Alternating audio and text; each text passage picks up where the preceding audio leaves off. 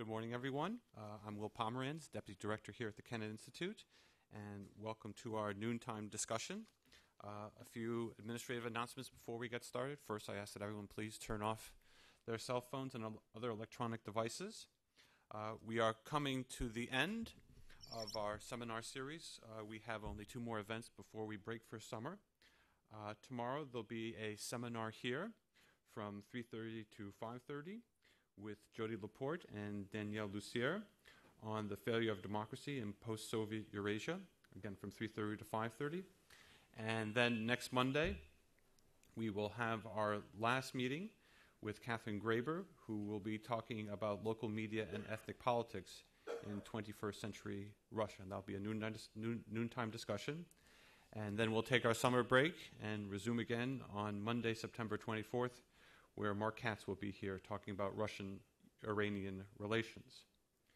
Uh, it's our great pleasure today to have Eric Scott with us. He is a Title VIII supported research scholar here at the Kennan Institute. Uh, he recently finished his PhD in history from the University of California, Berkeley, and is busy here revising his manuscript for publication. Uh, but he will be joining the Department of History at the University of Kansas this August as an assistant professor of modern Russian history. So, congratulations, Eric, and we look forward to your remarks. The floor is yours. Well, uh, thank you, Will, and uh, I'd like to thank especially the Kennan Institute for hosting me this summer as a Title VIII uh, supported research scholar.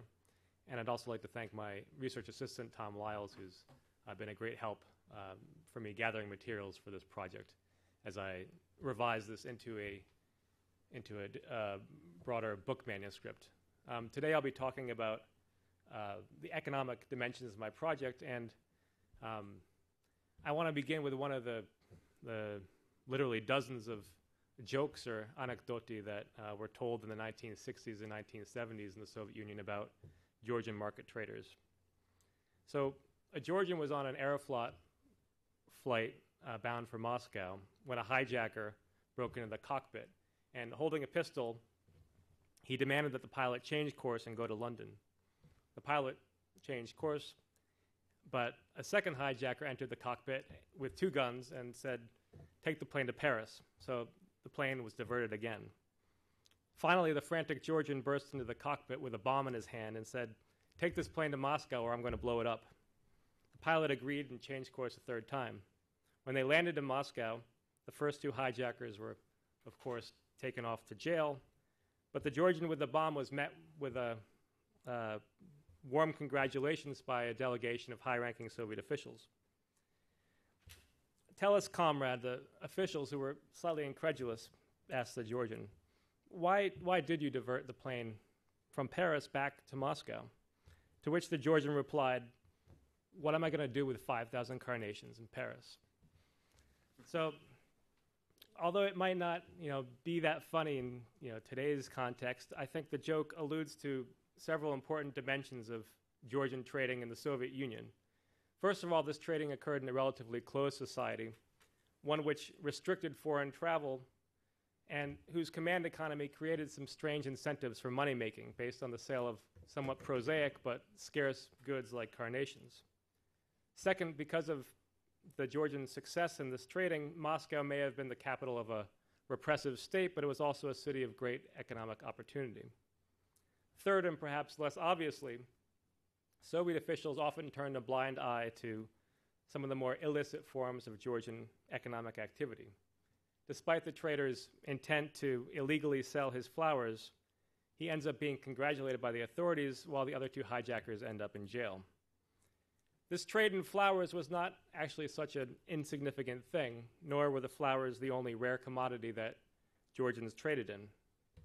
Georgians not only provided the obligatory flowers that Soviets needed for holidays and dates and to thank dinner hosts. They also supplied a range of other scarce and sometimes exotic goods that were crucial for everyday social rituals. For example, Georgia produced 95% of the tea grown in the Soviet Union, a beverage that, um, if you've been to Russia, you know that it really punctuates the day from breakfast to office tea breaks to late night conversation around the dinner table. Georgia grew and sold most of the tobacco for the cigarettes that often accompanied tea. And Georgia cultivated 90% of Soviet citrus fruits, which citizens hoped to uh, obtain to grace their New Year's tables. Soviets toasted with Georgian wine and praised the Georgian mineral water Borjomi for its health benefits, which included, uh, importantly, serving as the perfect antidote for too much Georgian wine. This era of the 1960s and 1970s is often thought of as a time of zastoi or stagnation, but historians are beginning to uh, get a sense that even as the official economy stagnated, an informal second economy grew to meet the demand for consumer goods like these. Accommodating an increasingly urban, actually predominantly urban, Soviet population at this point, the state grew more tolerant of small scale market trading while relying on the KGB to prosecute larger scale operations.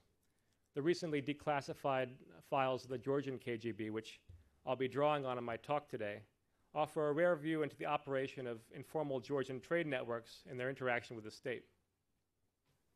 Now, generally speaking, the burgeoning Soviet marketplace was dominated by non Russians.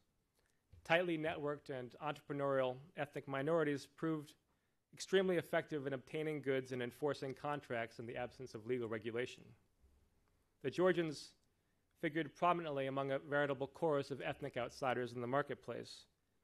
There were Azeri entrepreneurs gaining footholds in fruit and vegetable markets, Armenians occupying key economic positions as middlemen minorities, and Chechens gaining reputation for violent contract enforcement. The ethnic nature of the Soviet second economy was often lampooned in jokes of the kind that I began with today. These jokes played on reputed stereotypes and exaggerations of real cultural differences. But I would argue that in the Soviet second economy, reputation for being able to obtain rare goods or for having a propensity to violence could itself be a form of capital. Now, before going further, I'd like to say a few words about how today's presentation fits into my larger project. Generally, this is how we think of the Soviet Union as a multi ethnic state composed of separate republics. Yet, this map of national populations living in the Soviet Union shows that national groups and cultures were by no means confined to their titular republics, but instead traveled throughout the Soviet Union. Georgians moved beyond Georgia, Uzbeks beyond the Uzbek Republic, and Armenians beyond Armenia. While historians have for a long time emphasized the relatively sealed nature of external Soviet borders, these relatively closed borders hid an incredible internal mobility of populations.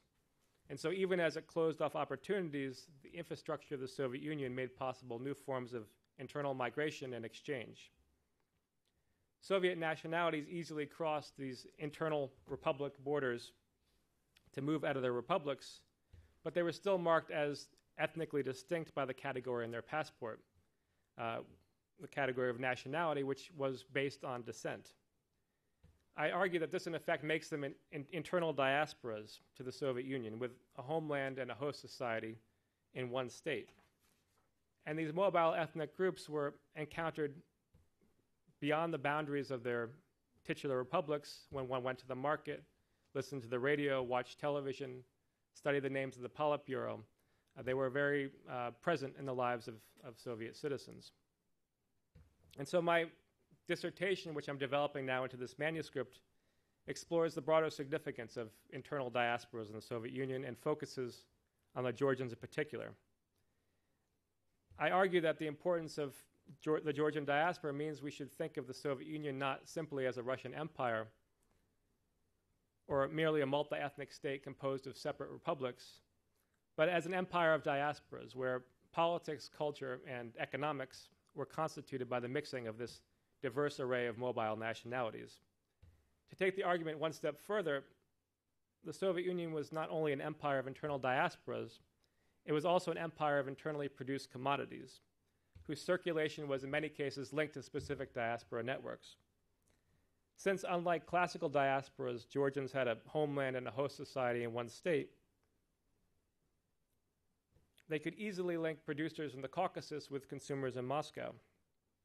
Yet while they excelled as these pan Soviet entrepreneurs, the ethnic distinctiveness of Georgian networks and the explicitly exotic nature of the goods they offered was often emphasized and, in fact, capitalized on by the Georgians themselves. In my talk today, I'll focus on the, the crucial role the Georgians played when they came to the forefront of Soviet economic life in the Brezhnev era. I'll begin by discussing what it was that made Georgian traders so successful, and then I'll examine a few cases in, in greater detail to give you a, a better sense of how these trade networks operated. And finally, I'll conclude by considering the somewhat complicated implications of Georgian success in the Soviet period and its legacy in contemporary Russia. So, what was it that made the Georgians so successful as, as pan Soviet entrepreneurs? Uh, it would be easy, I think, to attribute Georgian success to climate, given that Georgia was one of the few places that things like flowers, tea, tobacco, and oranges could be grown within Soviet borders. This was, of course, thanks to the Southern Republic's celebrated subtropical climate, which is especially evident along the Black Sea coast, which you can see here. Certainly, climate is what Nikita Khrushchev had in mind when he complained in his memoirs about Georgians, quote, profiteering and speculating everywhere they go. Khrushchev uh, went on to say, quote, There are many temptations in Georgia for speculators. The climate is warm, there are many vineyards and many other human delights. He went on to say, quote, If people from some other nationality lived there, the same weaknesses would have been true of that nationality. If Russians lived in Georgia, they would do the same thing, explaining the prominence of Georgian traders in geographic rather than cultural terms. Of course, geography mattered, but so too did political climate. By the Brezhnev era, unofficial economic enterprises operated in Georgia on a vast scale, and they were largely tolerated by local party leaders. Informal exchange was practiced widely across the Soviet Union, but perhaps nowhere more openly than in Georgia. To give some examples, well, incomes officially stagnated in Georgia in the 1960s. By 1970, the size of the typical Georgian savings account was almost twice that of the Soviet average. Police reports regularly complained about the public's toleration of the theft of state resources and the flagrant display of illicit gains in the form of big parties thrown at restaurants and lavish homes constructed along the Black Sea coast. Given this festive and somewhat freewheeling atmosphere, it's perhaps uh, not surprising that another joke dating to the Brezhnev era said that the loudspeaker at the Tbilisi rail station announced trains leaving Tbilisi for the USSR. Georgian traders benefited from having this homeland that provided not only valuable resources, but also a sanctuary for informal enterprises. But the, the ability of these traders to market their goods beyond Georgia was also due to distinctive cultural practices that were both strange and familiar in the Soviet context. On the one hand, they made up a relatively exclusive community that was bound by a distinct language and uh, one that was basically indecipherable to outsiders.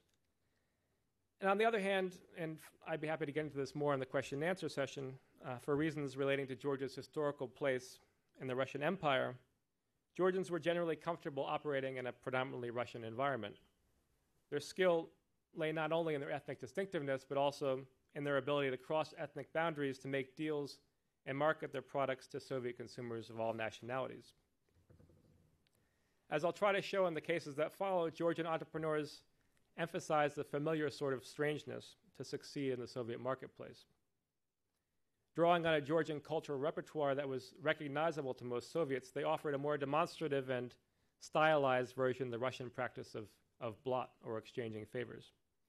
They trafficked in goods whose appeal lay not only in their scarcity, but also in their branding as exotic Georgian products. All the while, they maintained a symbiotic, if sometimes strained, relationship with the Soviet state. Soviet authorities used, promoted, and uh, sometimes resented Georgian success while these traders negotiated between imperial prominence and local self assertion. As I'll discuss at the end, all this has really important implications for contemporary Russian Georgian relationship and the evolution of the post Soviet marketplace.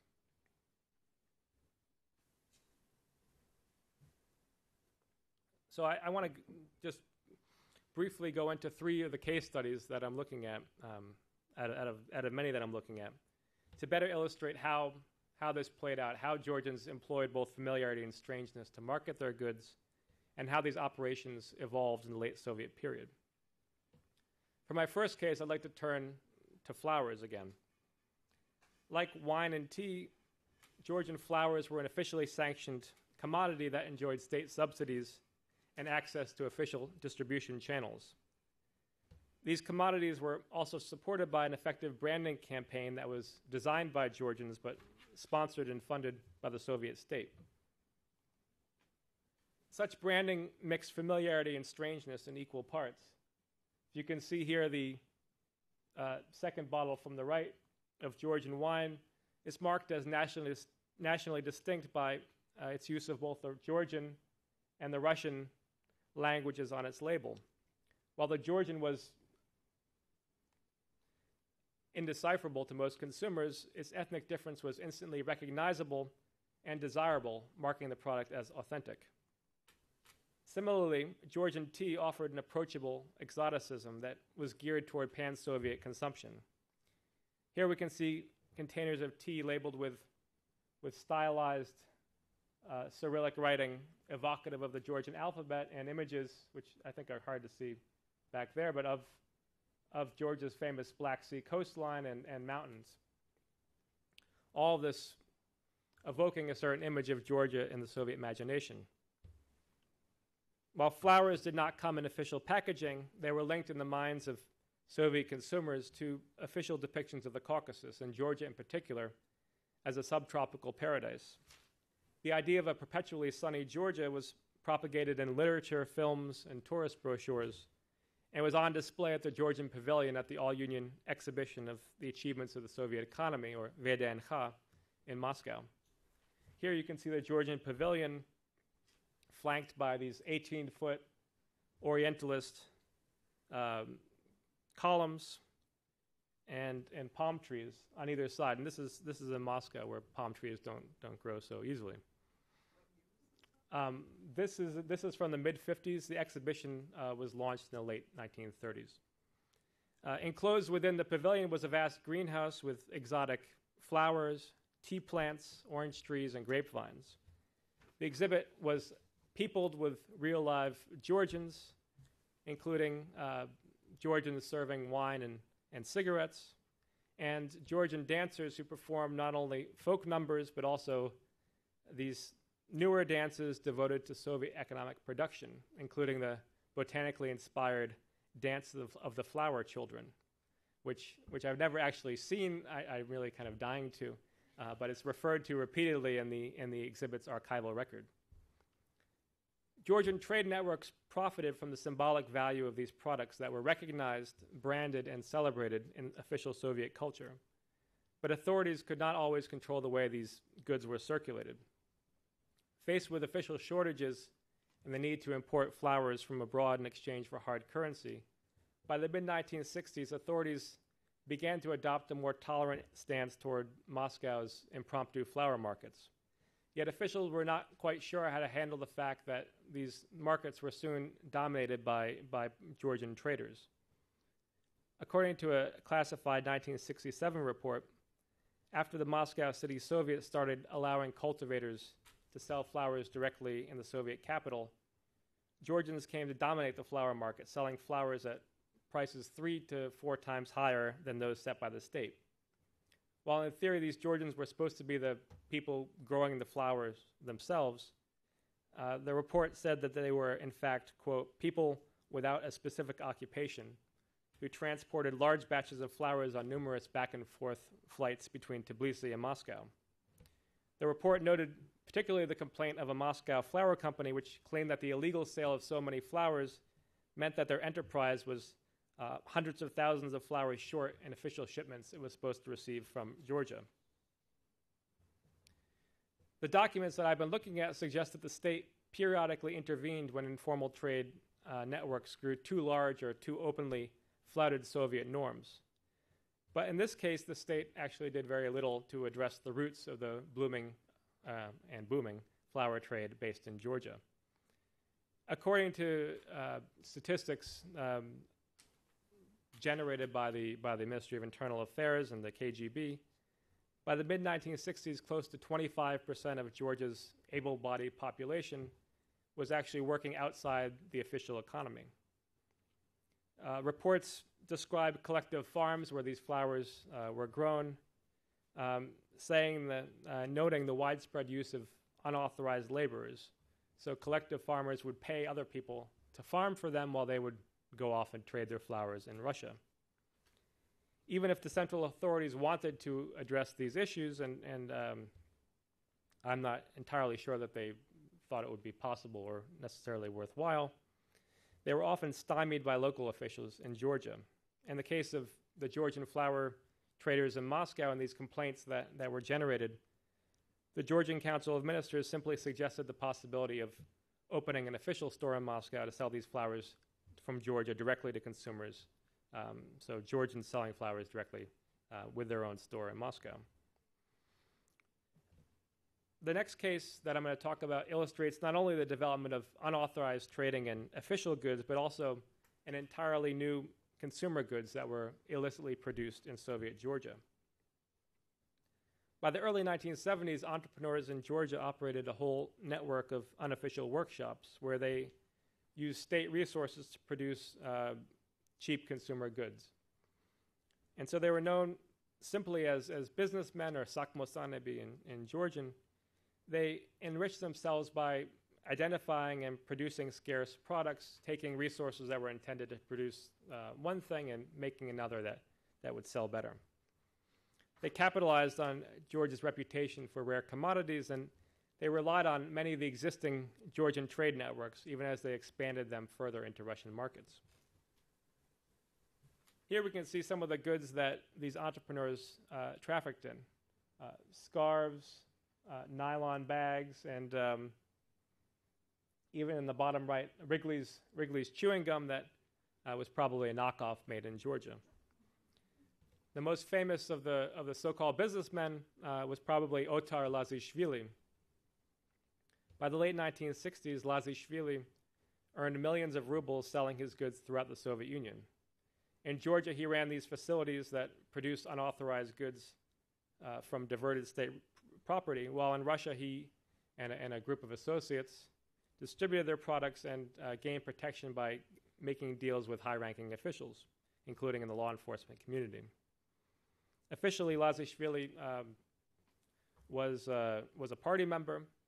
Uh, although he had not finished uh, university, he um, was officially employed as the associate laboratory director of a factory in Tbilisi. And he appeared on paper to be a person of, of middling importance.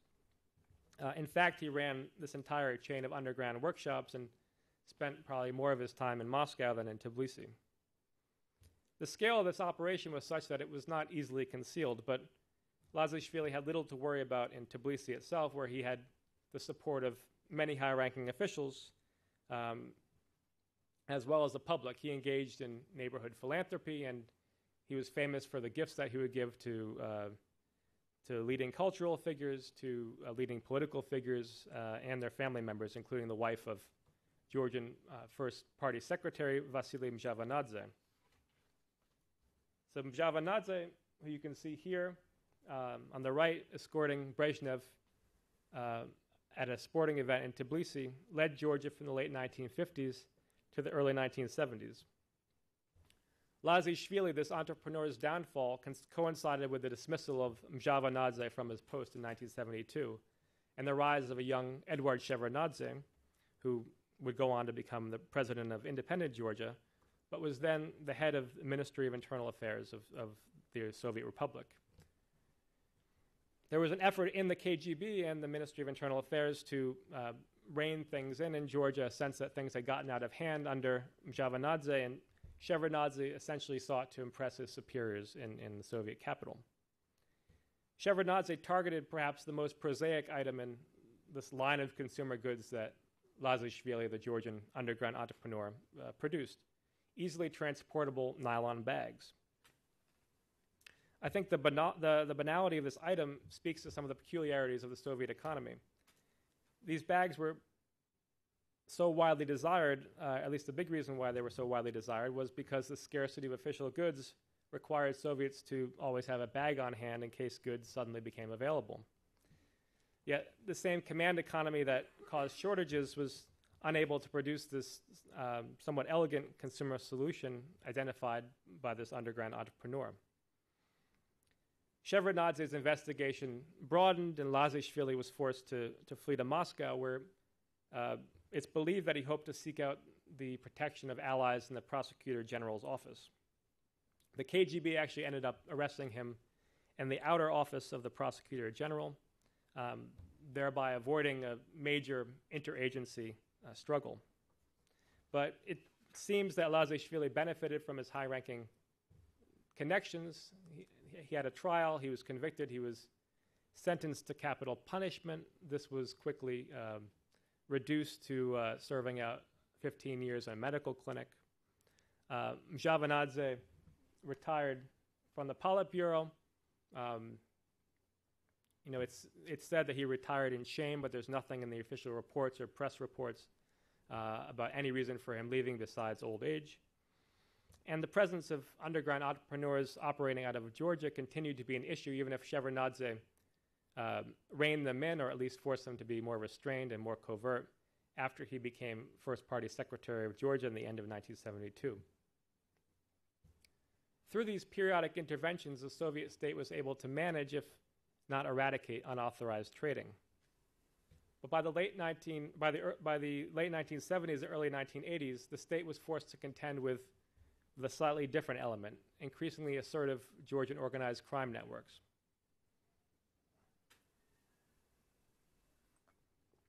So Georgians were especially prevalent among the Soviet vori v zakonya, or thieves in law, who were crime bosses specializing in explicitly illegal activities, so not the production of, of um, consumer goods through um, illicitly gained material, but things like theft, racketeering, and so on.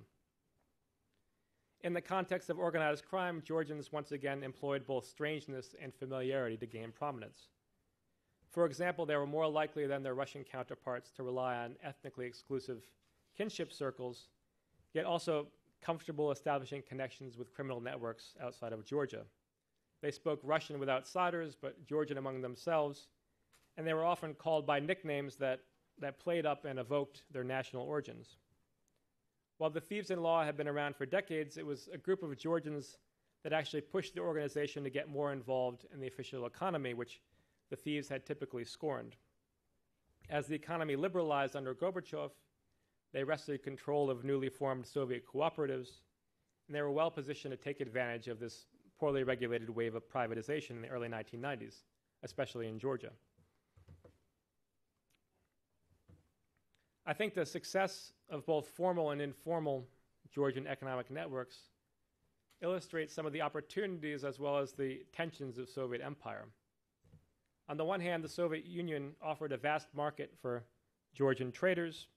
Central authorities promoted official Georgian enterprises, and state policies gave Georgian producers virtual monopolies on several key goods. On the other hand, Georgian trade networks were subject to prosecution if they grew too big, too successful, or operated too openly. These trade networks were relied upon by Soviet consumers, yet their success sometimes generated popular resentment traces of which can be found in a number of Soviet era jokes. In these jokes, Georgians came to stand in for all ethnically distinct traders from the Caucasus, whether they were in reality Georgians, Armenians, or Azeris. At the same time, in Georgia, frustrations grew on the restrictions that the imperial state placed on local economic enterprise, as well as on local cultural expression. In this context, the perception was that theft from the Soviet state was perhaps corrupt, but not necessarily immoral. Certainly, not all or even most Georgians were active participants in the informal economy. And many Georgian intellectuals, in fact, were appalled at the, the reputation Georgians had as speculators. At the same time, for Georgians involved in the informal economy, including the thieves in law, it was possible to appeal to explicitly national Georgian standards of honor, honor and morality, even as they flaunted Soviet legality. These Georgian trade networks effectively helped bind this empire of diasporas together, but they also ended up undermining central control. So, briefly, how have these networks evolved since the collapse of Soviet empire, and what is the legacy of the Georgians' Soviet era success? Perhaps most obviously, these networks have lost the monopolies they once, once enjoyed on exotic and rare commodities.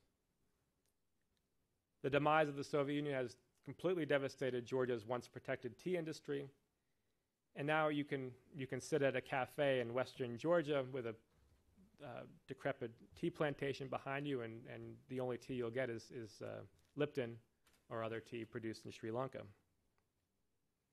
Cheap consumer goods of the kind that Lazishvili once produced, like nylon bags and so on, are now bought from China, where the rest of the world actually buys them too. Uh, some of the specialized goods that Georgians produce, like wine and mineral water, are are still um, being produced quite widely, but as, as most of you probably know, they were banned by Russia in 2006 amidst worsening relations between Russia and Georgia, in a measure that was effectively aimed at depriving these entrepreneurs uh, of their ability to bring some of their most famous uh, Georgian branded goods to Russian markets. Petty trading in commodities like flowers and oranges certainly continues, and remittances sent from Georgian traders in Russia remain a significant part of the Georgian economy. But I think, in terms of their significance, economically at least, in Russia itself, much of this Georgian trading today is relatively marginal, since Russian consumers now have alternatives, and Russian immigration policy restricts the movement of Georgian traders across international borders. The continuing prominence of the Georgian thieves in law is often commented on, um, whether it um, is intended to, uh, uh, as a criticism to, to Georgians residing um, in Russia or even um, something that, that is boasted about. Um, but it's more difficult to document this. We can certainly um, agree that these networks have evolved dramatically since Soviet collapse and that their uh, significance has appeared to wane with the rise of state power in Russia under Putin and in Georgia under Saakashvili. But they're by no means limited to the former Soviet Union, and uh, they've turned up in places like Spain and Austria, where periodic arrests of so called Russian organized crime groups turns up a, long list of Georgian names. I think it remains to be seen whether the thieves in law is a somewhat coherent group of criminals professing their own sort of moral code will endure or become something of a quaint relic of the Soviet past in a more globalized criminal marketplace. Also, I think that while they continue to capture the public ima- ma- imagination both, both in Russia and in the US, their ability to steer economic development should not be overstated. Um, in Russian markets, for example, systemic and global factors like inflation are all too easily blamed on mysterious so called mafias. While the economic importance of Georgian trade networks has, has declined relative to the, Soviet period, they do retain a, an important uh, place in the Russian imagination, and they're often linked in people's minds to broader perceptions of so called persons of Caucasian nationality. While ethnic distinctiveness could in many ways be an asset in the expressly multi ethnic Soviet state, it's now linked to economic dislocation and geopolitical suspicion. These formerly internal diasporas from the South Caucasus are now transnational ones that operate across state lines, while some of the others, like Chechens, are Russian citizens but are linked to a potentially separatist region. In this context, the ethnicization of the marketplace has uh, led to sometimes violent backlashes against traders from the Caucasus, and I think the the geopolitical uh, context has, has hardened public perceptions. These newly transnational diasporas generate tension not only in host societies but also when they return to their homelands. Georgia, like many other uh, post Soviet states, has made a great effort to reach out to its diaspora in Russia for investment and intellectual capital. To, yet, to give one example, when Bidzina Ivanishvili, who's a Georgian oligarch who made his fortune in Russia, recently sought to establish an opposition party in his native country. He was attacked as a supposed head of a secret pro Russian center by a member of Georgia's ruling party. These diasporas can serve as strategic bridges between a periphery and center, and between homelands and a foreign capital. But as bridges, they are often trapped in the position of belonging to both sides at once while being fully trusted by neither. While the Soviet Union's diaspora of Georgian traders successfully navigated between local assertion and imperial prominence, at least for a time, I think the tension to, uh, between loyalty to a foreign state and loyalty to one's homeland is much more difficult to navigate. Thank you.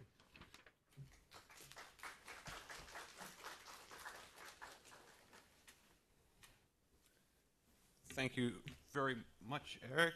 Um, I want to begin by asking this a little bit more about the notions of internal diasporas. You talked about that we didn't have a Russian empire, but an empire of different diasporas. And I'm curious, uh, how did the Russians themselves respond to that? If you could talk about that a little more. You hinted about the Moscow flower merchants who kind of criticized uh, the lack of flowers because of the Georgian control of that, uh, that marketplace. But but did Russians begin to feel themselves as the exploited majority within the empire, um, which would manifest itself at the very end of the Soviet Union? But was this the beginnings of the, the feeling of kind of being exploited and used in order to keep the empire going? Yeah, I mean, I think well, when we talk about the uh, empire of diasporas, you know, it's Im- important to remember that Russians were actually, you know, themselves a major diaspora and you know spread out with the expansion of the Russian Empire and the Soviet Union um, to Central Asia, uh, the Baltic states, and so on. So they were um, by no means confined to Russia itself, and were um, you know important com- component of this this vast internal movement. But in terms of Russians and Russia, you know, s- this becomes a real issue, I think, after World War II, where there's this this increasing state sanction for for Russian of Russian nationalism in Russia an increasing effort to define uh, Russia itself um, not simply as a center of a multi ethnic uh, internationalist communist movement, but as a, as a more ethnically Russian place. And so, yeah, there is a, there is a, uh, a lot of resentment, um, both in Moscow um, and Russian cities, where uh, there's a sense that um, subsidies are sent uh, from the center to to places like Georgia, and um, they're essentially used to, to, personally enrich uh, Georgians, while Georgians then aren't producing in return the things like tea uh, of the quality or in the manner that, that are that are you know expected. So there's a sense that there's an unequal exchange. Um, there's a sense that um, in their own country, in their own capital, in their own city, Russians um, are slipping in terms of living standards, which I think is borne out by some of the, the statistics um, that one finds in terms of comparative living standards, um, probably relatively higher in, in the Baltics and in Georgia. Of course, Georgia didn't, didn't have a large um, Russian population, or at least not as large as, as that in the, in the Baltic states, but um, you see also resentment in, in Georgia itself, where, where Russians um, uh, stationed there or living there uh, often complain that they're being treated like second class citizens in their own country and that they're passed over for positions um, in favor of Georgians. And you know, this is not something that um, is expressed, you know, continuously, but you see it, you know, at at certain key events um, like the 1956 uh, demonstrations in Tbilisi. Um, you see, you know, this. There's a huge wave of letters, you know, written to Moscow complaining of this, and um, letters written, you know, in in in Russian cities complaining about about the kind of second class uh, nature of, of, of Russia's place in the empire. And there's a sense too, in this, you know, that that um, among some of the letter writers, at least, that um, Russians should not only be, you know, equal citizens, but that they have a, a privileged uh, place in the empire. And this is one of the tensions that that I think um, manifests itself in the, the end of the Soviet Union. Mm-hmm. Thomas.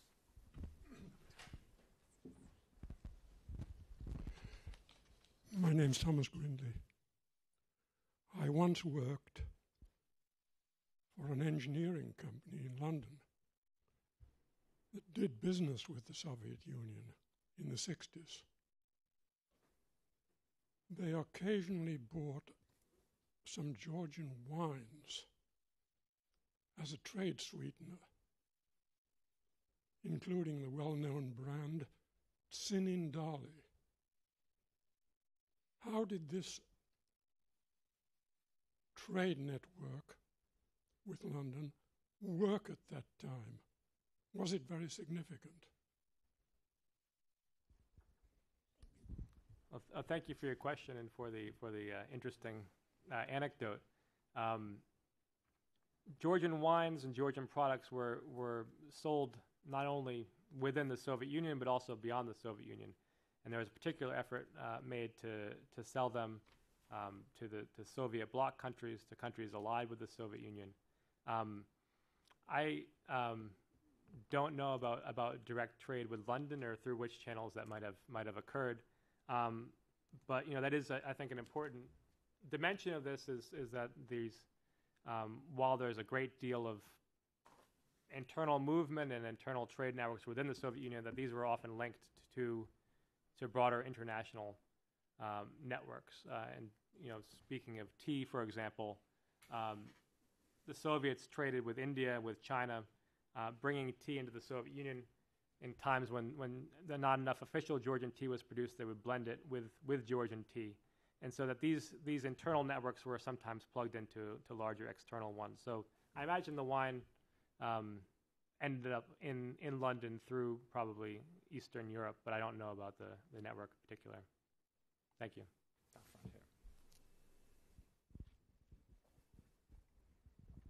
Hi, thanks for a very enlightening presentation. I recently came back from six months in Georgia, and I have to tell you, I was never served Georgian tea in any restaurant I went to, so this is a revelation. I wanted to ask you about the strange Georgian economy as it is now. As you know very well, one of the great uh, products there for its uh, gross domestic product is used cars, importation from other places, and their great car markets and so on. And then the problem of any kind of uh, import, which is sky high, the markups on, on consumer products are astonishing. And I gather it's controlled by small circles in power. Say something about the, the internal workings of the Georgian economy and the role of the thieves in law in Georgia. Uh, of course, we know the police at the low levels are not corrupt, and Saakashvili's uh, cataclysmic uh, changes there. But at the higher levels, there seem to be things that are not uh, totally transparent and uh, open. Yeah, I mean, I, I, think you know I've, I've been going to Georgia for um, 11 years now, and so I think there's you know there's been a a great change in, ter- in terms of the thieves in law's role, you know, in Georgia. While you know when I um, first started going to Georgia in 2001, you know, they was they operated more or less openly, or at least were openly spoken of quite extensively, to the extent that when my, my, my apartment was actually broken into, my friend suggested that I go to, to, to talk to someone who would talk to someone in the thieves in law to find out who did this. Um, you know, they've, they've generally, my sense is they've generally left Georgia. I mean, there's nothing really holding them there in particular. Um, in terms of the, the contemporary Georgian economy, I mean, there's been a great reduction of, of everyday corruption. So, um, you know, what I saw when I first started going to Georgia, you know, based on my discussions with people there and my own research, essentially I, I see this as, as a continuation of the, of the practices of the Brezhnev era. Uh, and probably in an exaggerated form where, you know, you saw bribes being paid openly to, to um, traffic police, um, you know, flouting of wealth that was clearly illicitly gained. You know, ministers with with salaries that were you know hundred dollars a month. You know, building these enormous houses. You know, that's been that's been reined in. Um, in terms of what's happening now, I mean, it's not really entirely clear to me. I, I think you know, in many ways, it's it's part of a more globalized pattern of corruption where you see you know this uh, poor supervision of, of uh, state procurement um, a lot of you know unclear financing of of uh, government uh, buildings, uh, unclear what's happening in the construction sector uh, in general. Besides, you know, there's a huge boom, and I'm not sure who's who's benefiting for that or who's you know making sure all the permits are, are acquired for these really you know enormous things they're building. Um, so I don't know if I see you know a, a thieves in law role there. I think I, I you know there's probably points to more you know influence within within elite circles in the ruling party.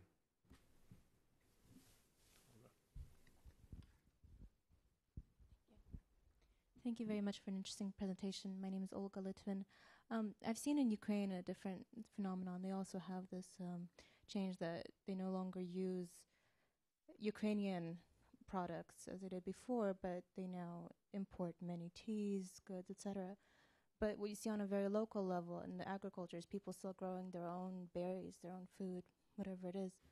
Is there such a thing in Georgia, for example, with the tea or with various things that are now mostly imported on a larger scale? Thank you. Yeah, ab- absolutely. I mean, um, the kind of informal trade and, and you know everyday, especially agricultural goods, is is, is a huge part of uh, makes it probably a huge part of the Georgian economy. And you know, you regularly see you know whatever is kind of in in season. Um, you know, you see these these ladas loaded, you know, all the way really up to the top of the you know the the roof, you know, filled with say like hazelnuts or filled with grapes uh, or filled with, with oranges. Um, and these are traded, um, you know, throughout Georgia and Georgian cities, you know, in markets, um, and not just big markets, but you know, street corners. And the, there's been an effort to try to regulate this in Tbilisi, but it, you know, really it continues to go on. Um, so that's, you know, um, I suppose a continuation of, of, of petty trading. Um, and you know other Georgian goods like like wine and mineral water. I, mean, I, think there's been a relatively successful effort to to market them not only in Georgia and they're still very popular in Georgia, uh, but you know in in, in Europe, um, Israel uh, with its large um, former Soviet diaspora, um, the United States to some extent. Um, in terms of consumer goods, I mean, there's really not much much of that still produced in in Georgia. Um, most of that you know, comes from China, as it as it does uh, for us here. A quick question, Eric, a, a rather technical question um, about the, the, the markings that were put on various Georgian products. Um, was that required under Soviet law? Were you supposed to actually designate where goods came from, where they were produced, or was that something that simply Georgians decided or other regions decided to do individually just to kind of sh- add greatest, greater marketability to products? I mean, the, the, the kind of celebration of the, the ethnic origins and ethnic associations of products was something that was that was stressed uniformly in the Soviet Union um, as as a way to to demonstrate to Soviet citizens that they had an entirely self-sufficient um, economy and culture, and um, as you know, in celebration of the ethnic the ethnic diversity of this of this multi-ethnic state. Um, of course, different you know different um, nationalities had not only different goods but different different uh, mythologies, a different uh, set of associations in the in the Soviet context. And I think that the in the Georgian case, these these associations, this cultural repertoire was was really well developed. It goes, I think, back to the imperial period, and in contrast to other goods and products, Georgians themselves played a, a major role in in designing um, and and conceptualizing and promoting uh, this this brand. So you know there there were Georgian artists involved, um, Georgian um, writers, Georgian um, uh, business people who are really you know you, you know saw this opportunity and, and you know made uh, made a great deal out of it. Mm-hmm. Right here. Down front, right here.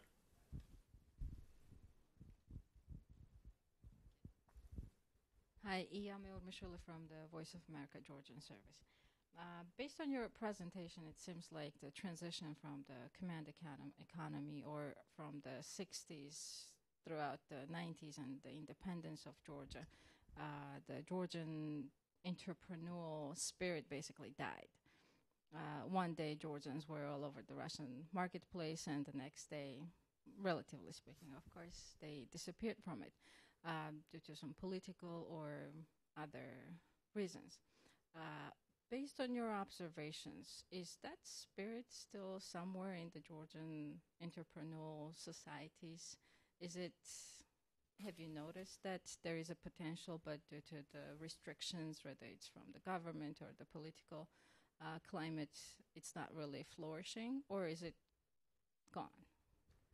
Um, yeah, in terms of the, the you know the Georgian entrepreneurial uh, spirit, um, I mean the point I was making was not that there was a major shift um, in mentality. I mean I think there was um, in terms of Georgia's relationship with with Russia and relationship with Moscow, um, but that the the niches and the the opportunities that this participation, this multi-ethnic empire created, were simply you know simply vanished, um, and so these networks uh, went from being playing this rather critical role in a relatively closed multi-ethnic society to being um, a lesser important network in a in a um, in a post-Soviet context and and and um, you know subject perhaps perhaps marginalized too to the globalization of the economy as well.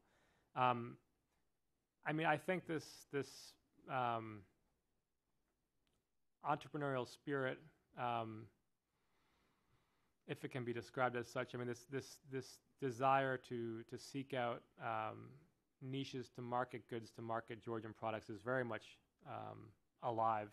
Um, I don't think it you know has you know the what the market is. I think it still remains to be defined, and um, what Georgian distinctiveness means in a in a more global context is remains to be defined.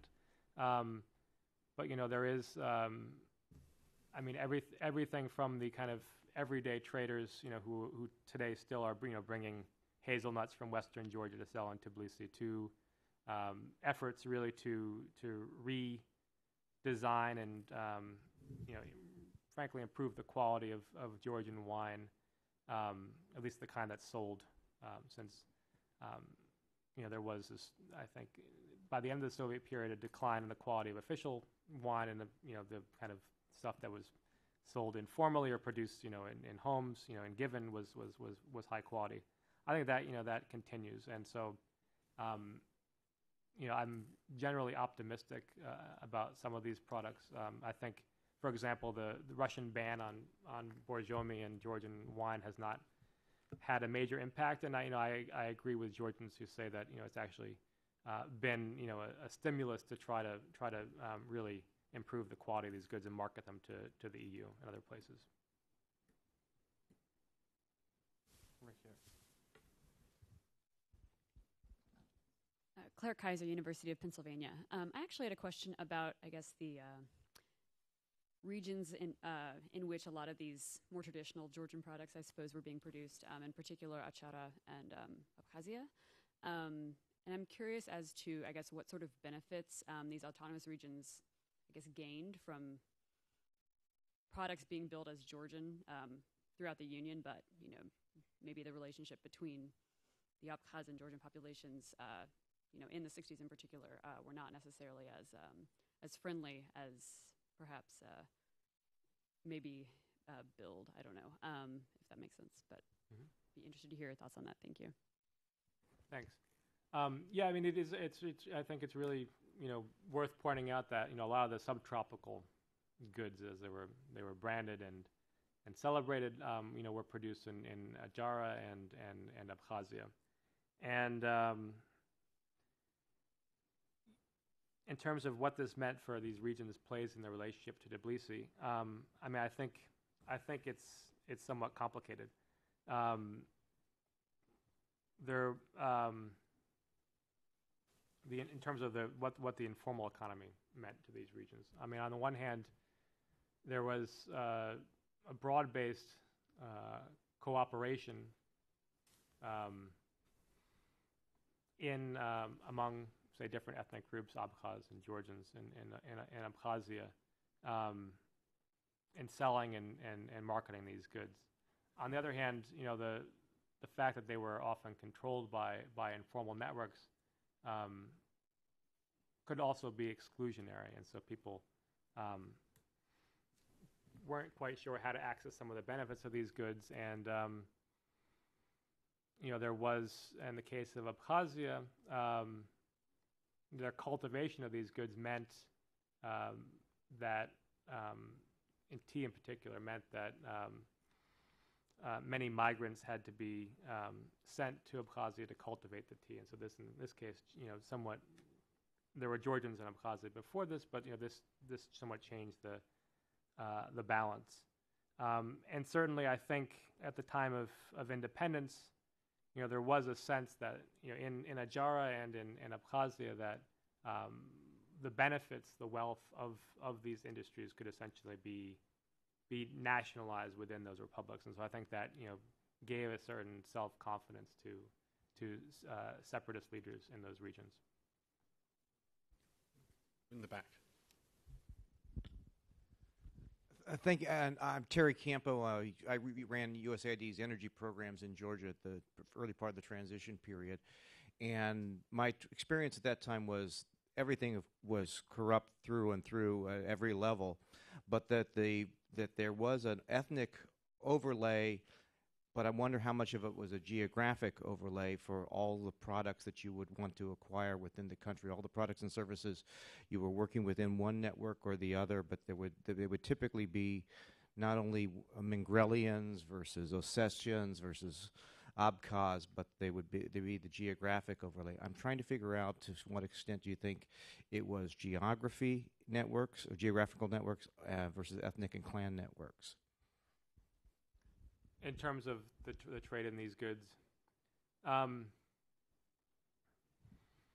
I mean, I think, I think in many cases it was both of them um, overlapping. Um, you know, a lot of I, I've looked at. Um, there's a very interesting case actually of um, a Georgian student who who turns up um, murdered in the 1960s in, in Volgograd, and you know, it's very difficult to research a second economy in general because you know it only appears when when the state you know grows concerned with it. Only then is a record generated. Otherwise, it seems to be kind of you know going on every day, and it's hard to get at. So this Georgian turns up murdered. Um, it turns out you know there's a whole complicated story behind it, but it leads back to these these groups of currency speculators in Moscow. In that case, you know it seemed to be uh, the overlapping both of of um, Western Georgian geographic um, connection, a Mingrelian connection within that, and then family networks, so extended family networks within it. So I think, you know, if we think of, you know, what made these networks successful in terms of their their exclusivity and their um, you know ability to trust one another and enforce contracts in the absence of this legal regulation, you know, I think the um, the kind of more it's it's overlaid, and the more that you know, group members can trust each other, I, I, think you know there's often a you know reinforcement of of these of these geographic, um, ethnic, and and and, and kinship to um, ties. Take one more question up front.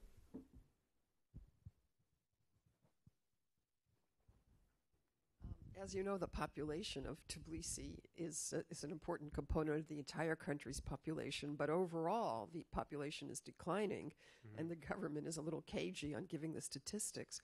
How do you see the future in terms of population increase? As you know, also, many people are leaving Georgia. They're trying to get jobs in, in Europe, trying to get to the States there's a proliferation of universities, but the quality is, is indifferent in many cases. And there's real concern about economic opportunities. The poverty level is quite high. Mm-hmm. Yeah, I mean, I, I, it's all I've seen are the official statistics, which suggest which which suggests that the, the population has, has at least stabilized. They're not, you know, suffering this huge um, out migration as they did in the in the in the 1990s. Um, but you know, I mean, I think the um, the the larger question is, you know, what um, what it means to migrate in you know in the contemporary um, global economy, and whether these you know people you know who leave will be able to come back easily, will be able to integrate.